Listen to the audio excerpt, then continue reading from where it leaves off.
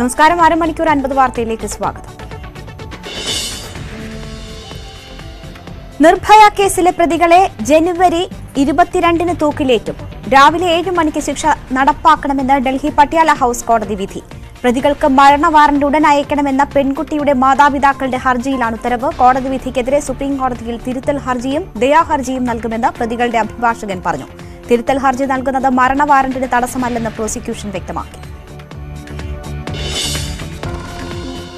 കോടതി നടപടി ആശ്വാസകരമെന്ന് നിർഭയയുടെ അമ്മ കോടതി നടപടി സ്ത്രീകൾക്ക് നിയമവ്യവസ്ഥയിലുള്ള വിശ്വാസം വർദ്ധിപ്പിക്കുമെന്നും നിർഭയയുടെ അമ്മ मेरी बेटी को इंसाफ मिलेगा देश के बेटियों को इंसाफ मिलेगा आगे भी मैं लड़ती आपको क्या रहूंगी लगता है इस जजमेंट से आगे और देश में ऐसी तरीके की घटनाएं घटेंगी बिल्कुल बिल्कुल क्योंकि इस फांसी से देश के महिलाओं का कानून पर विश्वास जगेगा आस्था जुड़ेगी और सबको इंसाफ നിർഭയ കേസിൽ കോടതി നടപടികൾ തീരാൻ വേണ്ടി വന്നത് ഏഴ് വർഷം. കേസിലെ പ്രതികളായ ആറ് പേരിൽ അക്ഷയ് താക്കൂർ മുകേഷ് പവൻ ഗുപ്ത വിനയ് ശർമ്മ എന്നീ നാല് പേർക്കെതിരെയാണ് കോടതി ഇപ്പോൾ മരണ വാറണ്ട് പുറത്തിറക്കിയത്. മുഖ്യപ്രതി രാംസിംഗ് നേരത്തെ ജയിലിൽ ജീവനൊടുക്കി. പ്രായപൂർത്തിയാകാത്ത മറ്റൊരു പ്രതിയെ കോടതി തടവ് ശിക്ഷയ്ക്ക് വിധിച്ചിരുന്നു.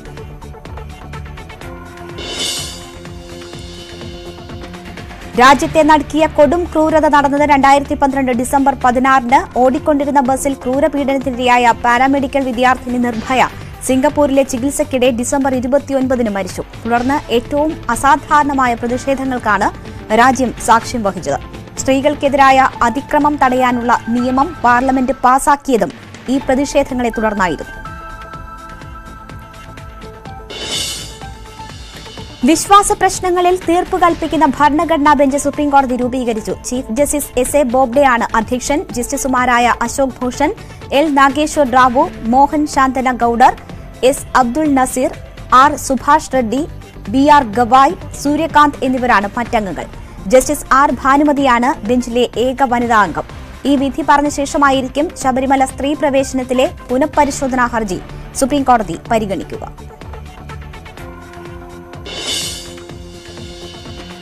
ബി ജെ പി സംസ്ഥാന അധ്യക്ഷ സ്ഥാനത്തേക്ക് കെ സുരേന്ദ്രന് മുൻതൂക്കം. ദേശീയ നേതൃത്വം ഇന്ന് കൊച്ചിയിൽ സംസ്ഥാന ഭാരവാഹികളുടെ അഭിപ്രായം ആരാഞ്ഞിരുന്നു. ഈ അഭിപ്രായ ശേഖരണത്തിൽ സുരേന്ദ്രന്റെ പേരിനാണ് മുൻതൂക്കം ലഭിച്ചത്. M T Ramesh A N Radhakrishnan Shobha Surendran Kummanam Rajasekharan എന്നിവരുടെ പേരുകളും ഭാരവാഹികൾ നിർദ്ദേശിച്ചിട്ടുണ്ട്. ആർ എസ് എസ് നേതൃത്വവുമായി ചർച്ച ചെയ്ത ശേഷമാകും കേന്ദ്ര നേതൃത്വം അന്തിമ തീരുമാനമെടുക്കുക.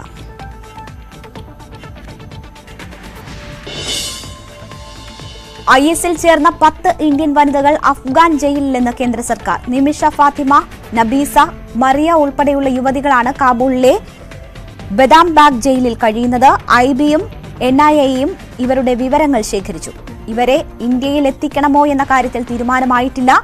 ജയിലിൽ കഴിയുന്നവർ ഐ എസ് ആശയങ്ങളിൽ ഉറച്ചു നിൽക്കുകയാണെന്ന് അന്വേഷണ ഏജൻസികൾ വ്യക്തമാക്കി.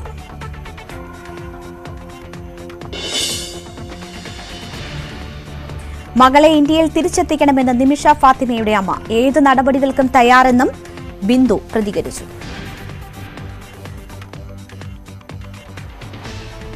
മാത്രമാണ് ഞാൻ അറിഞ്ഞത്. അല്ലാതെ എനിക്ക് എന്നെ ഇന്ത്യ ഗവൺമെന്റിന്റെ അവിടെ നിന്നും ഇവിടെ നിന്നൊന്നും എനിക്കൊരു സ്ഥിരീകരണം വന്നിട്ടില്ല. ഇതിന് എത്രമാത്രം അവ- അവളെ ഇതിലേക്ക് വലിച്ചഴച്ച് കൊണ്ടുപോയി എന്നുള്ളത് തെളിയണമെങ്കിൽ തീർച്ചയായിട്ടും അവൾ ഇന്ത്യയ്ക്ക് എത്തിയാൽ മാത്രമേ ഈ കാര്യങ്ങൾ പുറത്തു കൊണ്ടുവരാൻ പറ്റൂ. ബാക്കി നിയമ നടപടികൾ ഇന്ത്യയിലേക്ക് തന്നെ കൊണ്ടുവന്ന് ചെയ്ത് അവളുടെ വിചാരണയും അതും ഇതും കഴിയുന്നത് ഇന്ത്യയിൽ തന്നെ ആകുമ്പം മാത്രമേ ഇതിന്റെ പിന്നിലുള്ള ഈ ദുഷ്ടശക്തികളെ പുറത്തു കൊണ്ടുവരാൻ പറ്റുകയുള്ളൂ. ഇനിയും അത് ഭാവിയിൽ ആർക്ക് എല്ലാവർക്കും അത് ആം, മറ്റുള്ള പെമ്പിള്ളേർക്കും അതൊരു പാഠമാകട്ടെ ആകാനും അതിന് ഉപകാരപ്പെടുമെന്നാണ് ഞാൻ വിശ്വസിക്കുന്നത്. എനിക്ക് അപേക്ഷ മാത്രമേ ഉള്ളൂ. ഇന്ത്യ ഗവൺമെന്റ് കാരണം കാണിക്കണം ഇന്ത്യ ഗവൺമെന്റ് എന്റെ മകൾക്ക് തിരിച്ചു വരാനുള്ള ഒരു ചാൻസ് കൊടുക്കണം. ജെ എൻ യുവിൽ വിദ്യാർത്ഥികൾക്കും അധ്യാപകർക്കും നേരെ ആക്രമണം നടന്ന രണ്ട് ദിവസം പിന്നിട്ടിട്ടും പ്രതികളെ പിടികൂടാതെ പോലീസ്. ക്യാമ്പസിൽ ക്രൈംബ്രാഞ്ച് പരിശോധന നടത്തിയെങ്കിലും സിസിടിവി ദൃശ്യങ്ങൾ ശേഖരിക്കാനായില്ല. ആക്രമണം നടക്കുന്നതിന്റെ രണ്ട് ദിവസം മുൻപുണ്ടായ സംഘർഷത്തിൽ സി സി ടി വി പ്രവർത്തനരഹിതമായിരുന്നു എന്നാണ് വിവരം. ആക്രമണത്തിന് ആസൂത്രണം ചെയ്ത വാട്സ്ആപ്പ് ഗ്രൂപ്പിലെ നമ്പറുകൾ ഇപ്പോൾ സ്വിച്ച് ഓഫ് ആണെന്നും പോലീസ് വൃത്തങ്ങൾ വ്യക്തമാക്കി.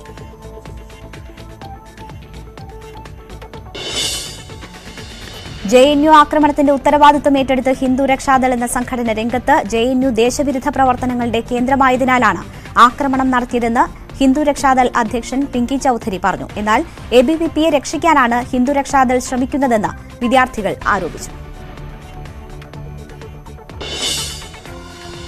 സർവകലാശാലയുടെ ഓൺലൈൻ രജിസ്ട്രേഷൻ സംവിധാനം തകരാറിലാക്കിയെന്ന പരാതിയിൽ വിദ്യാർത്ഥികൾക്കെതിരെ case. Union president Aishe Ghosh അടക്കം പത്തൊൻപത് വിദ്യാർത്ഥികൾക്കെതിരെയാണ് പോലീസ് കേസെടുത്തത്.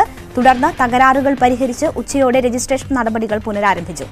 അക്രമ സംഭവങ്ങൾ അപലപനീ അപലപനീയമെന്ന് വൈസ് ചാൻസലർ പ്രതികരിച്ചു. ക്യാമ്പസിനുള്ളിൽ ശക്തമായ ശാന്തമായ സാഹചര്യമൊരുക്കാൻ എല്ലാ നടപടികളും സ്വീകരിക്കുമെന്നും ജഗദേഷ് കുമാർ പറഞ്ഞു. Every opportunity to make sure that normalcy returns to the university. Let us put all the past, whatever has happened, behind, and let us work together to make this university a great university. J N U വിദ്യാർത്ഥികൾക്ക് നേരെയുണ്ടായ അതിക്രമത്തിൽ പ്രതിഷേധിച്ച് കേന്ദ്ര statistical കമ്മിറ്റിയിൽ നിന്ന് professor C P Chandrasekhar രാജിവെച്ചു വിശ്വാസ്യത നഷ്ടപ്പെട്ട സർക്കാരിന് കീഴിൽ തുടരാനാകില്ലെന്ന് വ്യക്തമാക്കിയാണ് രാജി തുടർച്ചയായി ഉണ്ടാകുന്ന സംഘർഷങ്ങളിൽ മാനവ വിഭവശേഷി സെക്രട്ടറി അമിത് കരെയും കടുത്ത അതൃപ്തി രേഖപ്പെടുത്തി വിദ്യാർത്ഥികളെ പരോക്ഷമായി വിമർശിച്ച് കേന്ദ്രമന്ത്രി പ്രകാശ് ജാവ്ദേക്കർ രംഗത്തെത്തി അരാജകവാദികൾ ഒരു നാൾ തുറന്നു കാട്ടപ്പെടുമെന്നായിരുന്നു ജാവ്ദേക്കറിന്റെ പ്രതികരണം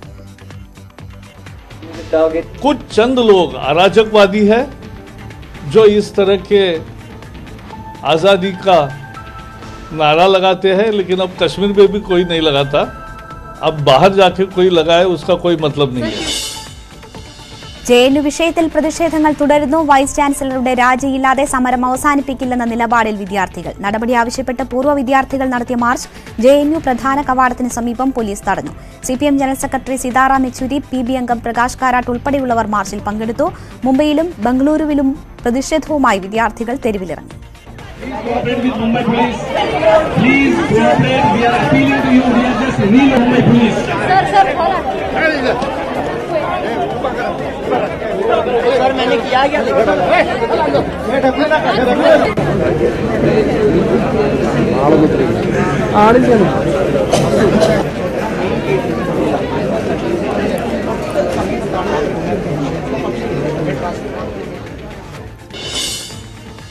പ്രളയകാലത്ത് കേരളത്തിന് നൽകിയ അരിക്ക് ഇരുന്നൂറ്റി അഞ്ച് കോടി നൽകണമെന്നാവശ്യപ്പെട്ട് എഫ് സി ഐ. തുക നൽകുന്നതിൽ നിന്ന് ഒഴിവാക്കണമെന്നാവശ്യപ്പെട്ട് പലതവണ കേന്ദ്ര സർക്കാരിന് സംസ്ഥാനം കത്ത് നൽകിയിരുന്നു. ഇത് അവഗണിച്ചാണ് തീരുമാനം. പ്രളയ ദുരിതാശ്വാസത്തിന് കേരളം ആവശ്യപ്പെട്ട അധിക ധനസഹായവും നിഷേധിച്ചതിന് പിന്നാലെയാണ് കേന്ദ്ര സർക്കാരിന്റെ പുതിയ ഇരുട്ടടി. കേരളത്തെ ഒഴിവാക്കി മറ്റേഴ് സംസ്ഥാനങ്ങൾക്ക് പ്രളയ സഹായം അനുവദിച്ചുകൊണ്ട് ഇന്നലെയാണ് കേന്ദ്ര സർക്കാർ വാർത്താക്കുറിപ്പിറക്കിയത് സംസ്ഥാനത്തിന് അർഹമായ സഹായം തുടർച്ചയായി നിഷേധിക്കുന്നുവെന്ന് മന്ത്രി തോമസ് ഐസക്. കേന്ദ്ര നിലപാട് അപഹാസ്യമെന്നും ഇത് ന്യായീകരിക്കാൻ കഴിയില്ലെന്നും മന്ത്രി ഇ പി ജയരാജനും പറഞ്ഞു. കേരളം ഇന്ത്യയുടെ ഭാഗമല്ലേ എന്നും മന്ത്രി ചോദിച്ചു. ഇന്ത്യയെപ്പോലുള്ള ഒരു രാഷ്ട്രത്തിന്റെ ഒരു ഭരണരംഗം കൈയാളുന്നവർ എത്രമാത്രം അപഹാസ്യരായി എത്രമാത്രം ജനങ്ങൾക്കിടയിൽ അവമതിക്കപ്പെട്ടു എന്നുള്ളതാണ് നമ്മൾ ചിന്തിക്കേണ്ടത്. ഏതെങ്കിലും ഒരാൾക്ക് ആ പ്രവൃത്തിയെ ന്യായീകരിക്കാൻ സാധിക്കും. കേരളം എന്താ ഇന്ത്യയുടെ ഒരു ഭാഗമല്ലേ? ഈ എന്ത് അടിസ്ഥാനത്തിലാണ് ഇത്തരമൊരു നിലപാട് കേന്ദ്ര ഗവൺമെന്റ് സ്വീകരിക്കുന്നത്? അതുകൊണ്ട് കേരളീയ സമൂഹത്തിലും ഇന്ത്യൻ സമൂഹത്തിലും ഈ നിലപാട് സ്വീകരിക്കുന്ന ഗവൺമെന്റ് ജനങ്ങളെന്നും ഒറ്റപ്പെടും. നടപടിക്രമങ്ങൾ പാലിക്കാത്തതുകൊണ്ടാകാം കേരളത്തിന് സഹായം ലഭിക്കാത്തതെന്ന് കേന്ദ്രമന്ത്രി വി മുരളീധരൻ. പ്രളയ സഹായം ആവശ്യപ്പെടുമ്പോൾ പാലിക്കേണ്ട നടപടിക്രമത്തിൽ കേരളം വീഴ്ച വരുത്തിയിട്ടുണ്ടാകും സംസ്ഥാന സർക്കാർ തന്നോട് ആശയവിനിമയം നടത്തിയിട്ടില്ലെന്നും മുരളീധരൻ പറഞ്ഞു. ഈ വർഷത്തെ നാശനഷ്ടങ്ങളുടെ വിവരങ്ങൾ കേന്ദ്രത്തിൽ നിന്ന് വന്നിട്ടുള്ള സംഘത്തെ ബോധ്യപ്പെടുത്തണം. ഇതാണ് സാധാരണ ഈ എന്താ ദുരന്ത നിവാരണത്തിന് വേണ്ടിയിട്ടുള്ള പദ്ധതിയുടെ ഭാഗമായിട്ട് നടക്കുന്നത്. ഇത്തരം നടപടിക്രമങ്ങൾ കൃത്യമായി പാലിച്ചിരുന്നെങ്കിൽ അപേക്ഷ പരിഗണിക്കുമായിരുന്നു തീർച്ചയായിട്ടും അങ്ങനെയുള്ളതൊക്കെ പരിഗണിച്ചിട്ടുണ്ടെങ്കിൽ കേരളത്തിന് മാത്രമായിട്ട് അത് കൊടുക്കാതിരിക്കുന്ന ഒരു പ്രശ്നമേ ഇല്ല എന്തായാലും ഇത്തരത്തിൽ ഈ നടപടിക്രമങ്ങളിൽ വീഴ്ച വരുത്തിയിട്ടുണ്ടാകാം എന്നാണ് കരുതുന്നത്. അതെ അതുകൊണ്ട് മാത്രമായിരിക്കണം കിട്ടാത്തത് പ്രളയ സഹായത്തിന്റെ പേരിൽ കേന്ദ്രത്തെ വിമർശിച്ച കെ പി സി സി അധ്യക്ഷൻ മുല്ലപ്പള്ളി രാമചന്ദ്രൻ. കേരളത്തോട് കേന്ദ്രം ചിറ്റമ്മ നയം കാണിക്കുന്നത് അംഗീകരിക്കാനാകില്ലെന്ന് മുല്ലപ്പള്ളി തിരുവനന്തപുരത്ത് പറഞ്ഞു. ഞാൻ അതിശക്തമായിട്ട് കേരള പ്രദേശ് കോൺഗ്രസ് കമ്മിറ്റിയുടെ പ്രതിഷേധം അറിയിക്കുന്നു. ഞാൻ കേന്ദ്രത്തിൽ ആഭ്യന്തര വകുപ്പിന്റെ ചുമതല വഹിച്ച മന്ത്രിമാരിൽ ഒരാളാണ്. അതുകൊണ്ട് എനിക്കറിയാം കേരളത്തോട് അനുഭാവപൂർണമായ സമീപനമാണ് ഞങ്ങൾ ഭരിച്ച സന്ദർഭങ്ങളിലൊക്കെ തന്നെ ഞങ്ങൾ കാണിച്ചിട്ടുള്ളത്. ഒരിക്കലും വിവേചനപരമായ നിലപാട് കേന്ദ്രം സ്വീകരിക്കാൻ പാടില്ലായിരുന്നു. ആ കേന്ദ്രത്തിന്റെ ആ ചിറ്റമ്മ നയം ഒരിക്കലും കേരള പ്രദേശ് കോൺഗ്രസ് അംഗീകരിക്കില്ല. തീർച്ചയായിട്ടും ഈ നിലപാട് പുനഃപരിശോധിക്കാൻ വേണ്ടി കേന്ദ്ര ഗവൺമെന്റും ആഭ്യന്തര മന്ത്രാലയവും തയ്യാറാകണം. പൌരത്വ നിയമ ഭേദഗതിയെ എതിർക്കുന്ന സി പി എം ഇരട്ടത്താപ്പാണ് കാണിക്കുന്നതെന്ന് ബി ജെ പി ദേശീയ വക്താവ് G V L Narasimha Rao. C P എമ്മിന്റെ ഇരുപതാമത് പാർട്ടി കോൺഗ്രസിൽ പൌരത്വ നിയമ ഭേദഗതി ആവശ്യപ്പെട്ട് പ്രമേയം പാസാക്കിയതാണ്. ഇത് മറന്നാണോ പാർലമെന്റിൽ പാസാക്കിയ നിയമത്തിനെതിരെ പിണറായി വിജയൻ പ്രമേയം കൊണ്ടുവന്നതെന്നും റാവു ചോദിച്ചു. ബി ജെ പി സംസ്ഥാന അധ്യക്ഷനെ വൈകാതെ തീരുമാനിക്കുമെന്നും കൊച്ചിയിൽ സംസ്ഥാന ഭാരവാഹി യോഗത്തിന് ശേഷം ജി വി എൽ നരസിംഹറാവു പറഞ്ഞു. Constitutionality of any, any particular law. It is not in his domain. He is not authorized to comment on. He can, outside the house, it's okay. I can still take it as political criticism. But inside the house, you are a constitutional functionary and you are not going to sit in judgment on constitutionality or unconstitutionality of an act of parliament. I think it's beyond your brief. It does not, you don't have the, the legislative competence പൌരത്വ ഭേദഗതി വിഷയത്തിൽ മുഖ്യമന്ത്രിയും ഗവർണറും ഒത്തുകളിക്കുന്നുവെന്ന് രമേശ് ചെന്നിത്തല. കേരള നിയമസഭയുടെ പ്രമേയത്തെ അധിക്ഷേപിച്ച ഗവർണർക്കെതിരെ മുഖ്യമന്ത്രി പ്രതിഷേധിച്ചില്ല. പൌരത്വ ഭേദഗതിക്കെതിരായ കോൺഗ്രസ് പോരാട്ടത്തിന് മുഖ്യമന്ത്രിയുടെ സർട്ടിഫിക്കറ്റ് വേണ്ടെന്നും ചെന്നിത്തല പറഞ്ഞു. ഒറ്റക്കെട്ടായി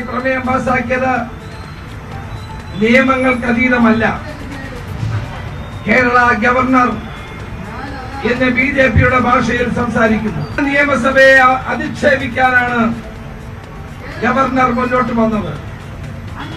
ഗവർണർ അങ്ങനെ മുന്നോട്ട് വന്നപ്പോൾ കേരളത്തിലെ മുഖ്യമന്ത്രി ഗവർണറും തമ്മിൽ ഒളിച്ചു കളിക്കുകയാണ്. കേരളത്തിലെ മുഖ്യമന്ത്രി എന്തുകൊണ്ട് ഗവർണറുടെ ഈ തെറ്റായ നയത്തിനെതിരെ സംസാരിക്കുന്നില്ല അവ ഗവർണറും മുഖ്യമന്ത്രിയും തമ്മിൽ ഒളിച്ചു കളിക്കുകയാണ്. ഈ പൗരത്വ ഭേദഗതി നിയമത്തെ അധിക്ഷേപിച്ച് സംസാരിച്ച ഗവർണറോട് മറുപടി പറയാനുള്ള തന്റെ ഇടം കേരളത്തിലെ മുഖ്യമന്ത്രി കാട്ടിയില്ല.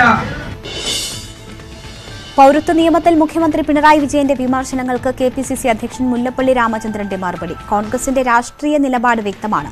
ഗവർണറുടെ നിലപാടിനെതിരെ പ്രതികരിക്കാൻ എന്തുകൊണ്ട് മുഖ്യമന്ത്രി തയ്യാറാകുന്നില്ലെന്നും മുല്ലപ്പള്ളി ചോദിച്ചു. K P C C president ഒളിച്ചുകളി നടത്തുന്നതാണ് പറഞ്ഞിരിക്കുന്നത്. ഒളിച്ചുകളിയുടെ രാഷ്ട്രീയം എനിക്കറിയില്ല എന്ന് ഞാൻ ആദ്യമേ മുഖ്യമന്ത്രി അറിയിക്കട്ടെ. ഞാൻ എന്നും തെളിഞ്ഞ രാഷ്ട്രീയമാണ് കളിച്ചിട്ടുള്ളത്. എന്നാൽ ഒരുപാട് കാര്യങ്ങൾ ഒളിച്ചു വെക്കാനുള്ള മുഖ്യമന്ത്രി നടത്തിക്കൊണ്ടിരിക്കുന്നത് ഒളിച്ചുകളിയുടെ രാഷ്ട്രീയം മാത്രമാണ്. അതുകൊണ്ട് എനിക്ക് മുഖ്യമന്ത്രിയോട് പറയാനുള്ളത് ഫാസിസ്റ്റ് വിരുദ്ധ സമരവുമായിട്ട് കോൺഗ്രസ് മുന്നോട്ട് പോവുകയാണ്. യഥാർത്ഥ ഫാസിസ്റ്റ് ആരാണെന്ന് മുഖ്യമന്ത്രി ഒന്ന് കണ്ണാടിയിൽ നോക്കിയാൽ മതി. അദ്ദേഹത്തിന്റെ ഫാസിസ്റ്റ് മുഖം വളരെ നന്നായിട്ട് ആ കണ്ണാടിയിൽ അദ്ദേഹത്തിന് തന്നെ ദർശിക്കാൻ സാധിക്കുമെന്ന് ഞാൻ പറയട്ടെ. Muthoot finance M D George അലക്സാണ്ടർക്ക് നേരെ കൊച്ചിയിൽ കല്ലേറ്. കാറിൽ യാത്ര ചെയ്യുമ്പോഴാണ് കല്ലേറുണ്ടായത്. തലയ്ക്ക് പരിക്കേറ്റ ജോർജ് അലക്സാണ്ടർ കൊച്ചിയിലെ സ്വകാര്യ ആശുപത്രിയിലാണ്. മുത്തൂറ്റ് ഫിനാൻസിൽ ജീവനക്കാരുടെ സമരം തുടരുന്നതിനിടെയാണ് അക്രമമുണ്ടായത്. സംഭവത്തിൽ സി ഐ ടി പ്രവർത്തകനായ ഒരാളെ പോലീസ് കസ്റ്റഡിയിലെടുത്തു. തലക്കിട്ട് ചോര വരുവാ അപ്പൊ രമേശ്, രമേശ്. അയ്യോ.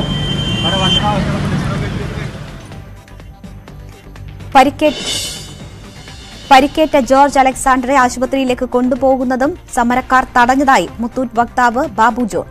ആക്രമണം നടത്തിയത് മുത്തൂറ്റിലെ ജീവനക്കാരല്ല. ജീവനക്കാരുടെ ഭാഗത്തു നിന്നും പ്രകോപനം ഉണ്ടായിട്ടില്ലെന്നും കമ്പനി വക്താവ് അറിയിച്ചു. ഇത് സി വളരെ എവിഡന്റ് ആണ്. പക്ഷെ അത്രയും ഞങ്ങൾക്ക് പറയാനുള്ളൂ. അപ്പൊ തീർച്ചയായിട്ടും പറയാം. അതിന് പ്രൂഫ് എന്താ? എന്താണ് പ്രൂഫ് ഇന്ന് പോലീസ് അറസ്റ്റ് ചെയ്തിട്ടുണ്ട്. അപ്പൊ അവന് എച്ച് ആണോ എന്ത് കുന്നമാണോ എന്നുള്ളത് നമുക്ക് മനസ്സിലായിക്കോ എല്ലാ ദിവസവും ഞങ്ങളുടെ ബ്രാഞ്ചിലെ സ്റ്റാഫ് മെമ്പേഴ്സിനെ അവർ ഉപദ്രവിക്കുന്നുണ്ട്. ബ്രാഞ്ചിലെ എഴുപത് ശതമാനം സ്ത്രീ സ്റ്റാഫ് മെമ്പേഴ്സാണ്. അവരെ എല്ലാ ഇവരാണ് അറ്റാക്ക് ചെയ്യുന്നത്.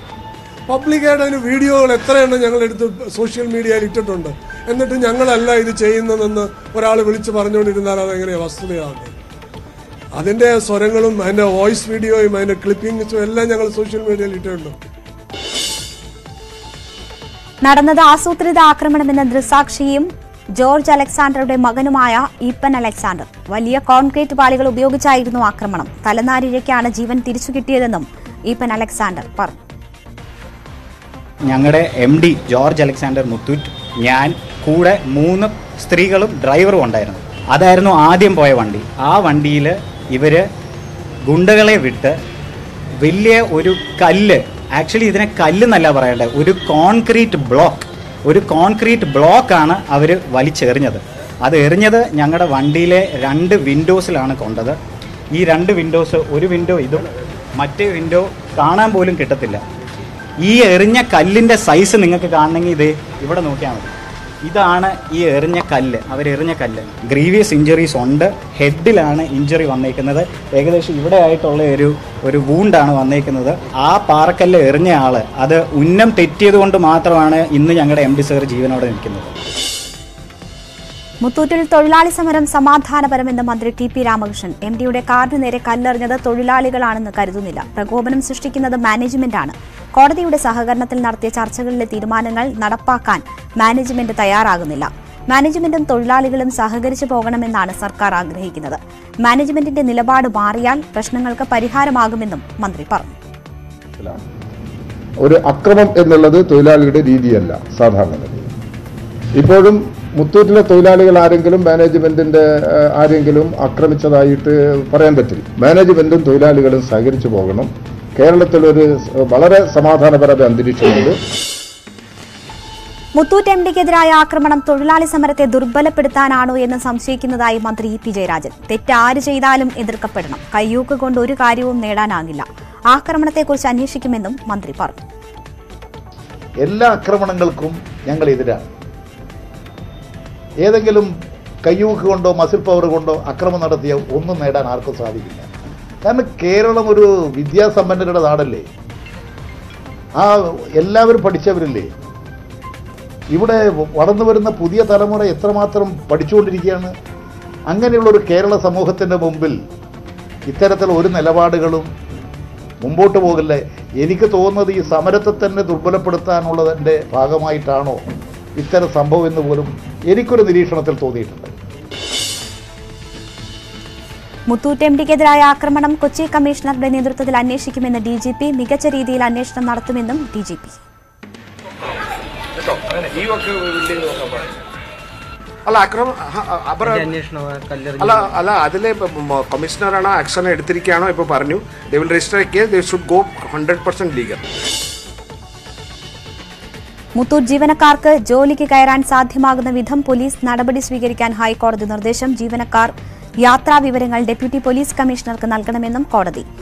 ജീവനക്കാർ എവിടെ നിന്നാണ് എത്തുന്നതെന്ന് വ്യക്തതയില്ലെന്ന് പോലീസ് ചൂണ്ടിക്കാട്ടിയപ്പോഴാണ് ഇക്കാര്യത്തിൽ സൗകര്യപ്രദമായ നടപടിക്രമം ഒരുക്കാൻ കോടതി നിർദ്ദേശിച്ചത്. സമരക്കാർ അക്രമം നടത്തുന്ന പശ്ചാത്തലത്തിൽ പോലീസ് സംരക്ഷണം അനുവദിക്കണമെന്നാവശ്യപ്പെട്ട് എറണാകുളത്തെ പ്രധാന ഓഫീസിലെ മാനേജരും ജീവനക്കാരും കടവന്തര ഓഫീസിലെ ജീവനക്കാരും നൽകിയ ഹർജിയിലാണ് കോടതിയുടെ നിർദ്ദേശങ്ങൾ. കേന്ദ്ര ആഭ്യന്തരമന്ത്രി അമിത്ഷായ്ക്കെതിരെ അവകാശ ലംഘന notice CPI M P Binoy വിശ്വമാണ് notice നൽകിയത്. പൌരത്വ രജിസ്റ്ററിനെ കുറിച്ച് പാർലമെന്റിനെ തെറ്റിദ്ധരിപ്പിച്ചുവെന്നാണ് പരാതി. രാജ്യസഭാ സെക്രട്ടറി ജനറലിലാണ് ബിനോയ് വിശ്വ പരാതി നൽകിയത്.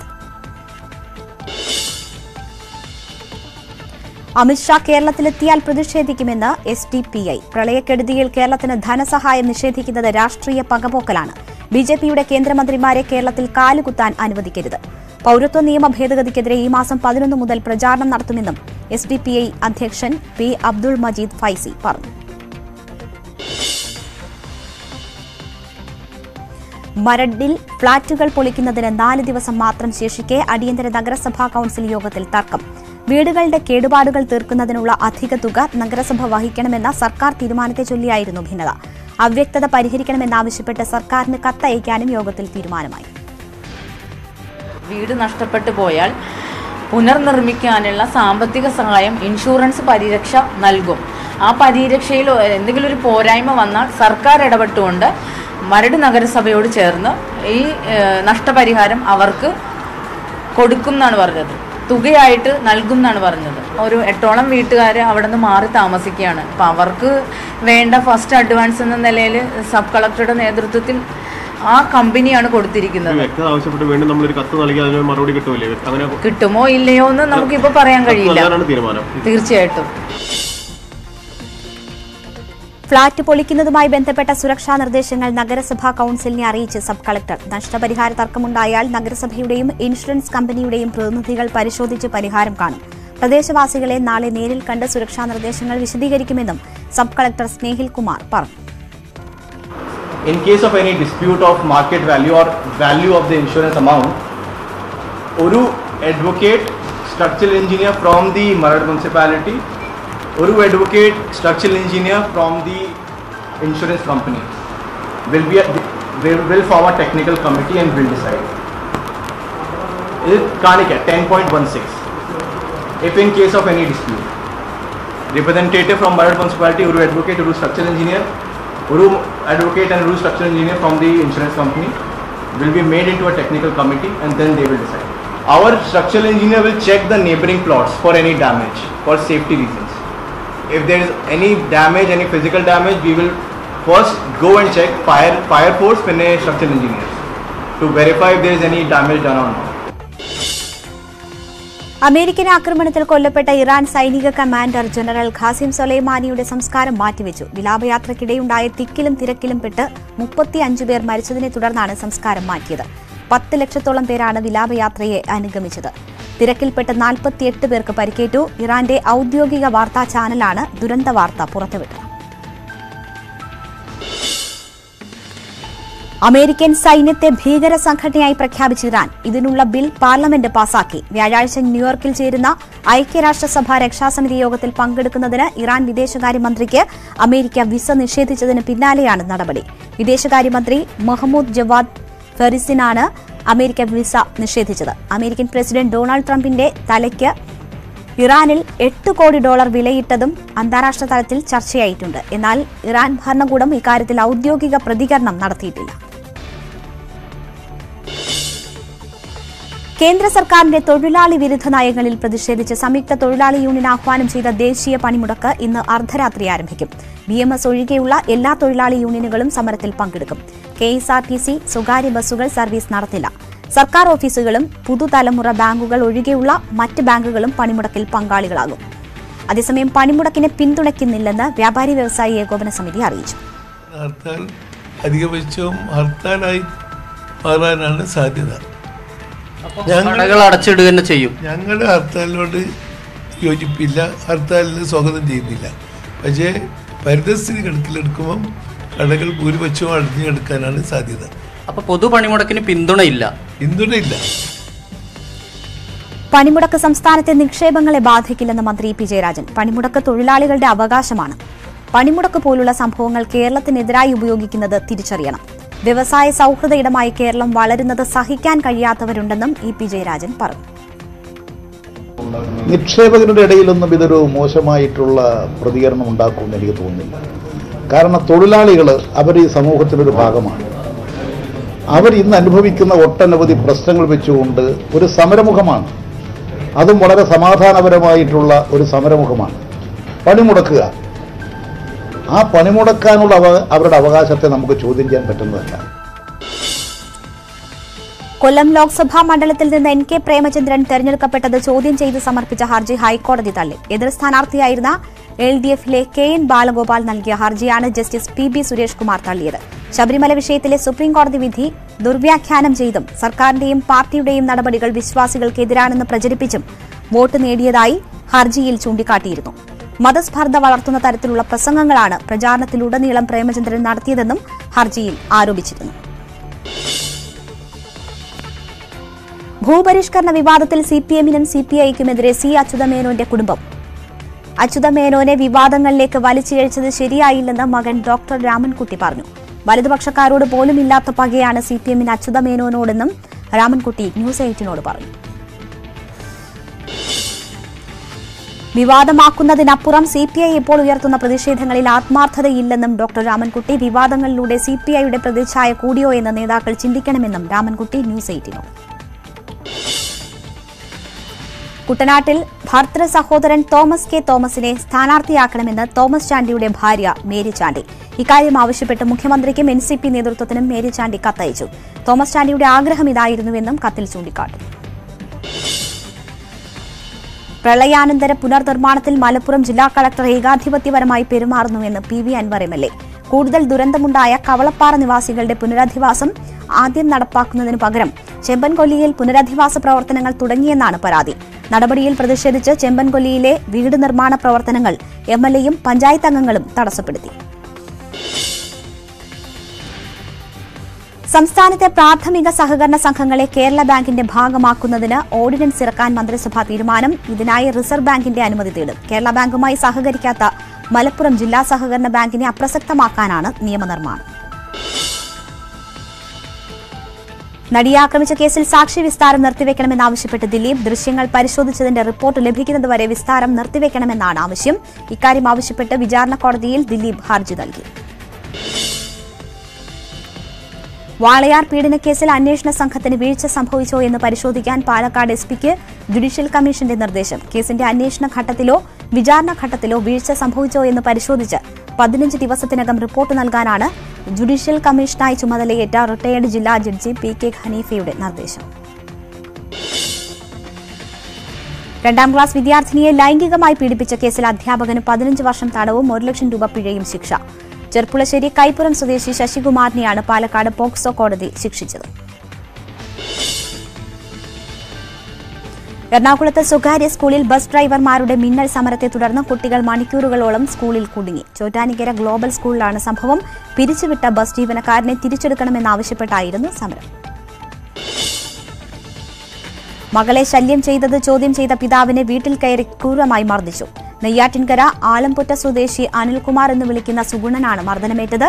ഗുരുതരമായി പരിക്കേറ്റ അനിൽകുമാർ നെയ്യാറ്റിൻകര ജനറൽ ആശുപത്രിയിൽ ചികിത്സയിൽ. സംസ്ഥാന കൃഷി വകുപ്പ് ഫാം ഇൻഫർമേഷൻ ബ്യൂറോയുടെ മികച്ച വീഡിയോ സ്റ്റോറിക്കുള്ള പുരസ്കാരം വി എസ് കൃഷ്ണരാജ് ഏറ്റുവാങ്ങി. തൃശൂരിൽ നടന്ന ചടങ്ങിൽ കൃഷിമന്ത്രി വി എസ് സുനിൽകുമാറാണ് പുരസ്കാരം സമ്മാനിച്ചത്. ന്യൂസ് എയ്റ്റീൻ സീനിയർ ബുള്ളറ്റിൻ പ്രൊഡ്യൂസറാണ് കൃഷ്ണരാജ്. അരമണിക്കൂർ അൻപത് വാർത്ത പൂർണമാകുന്നു. നമസ്കാരം.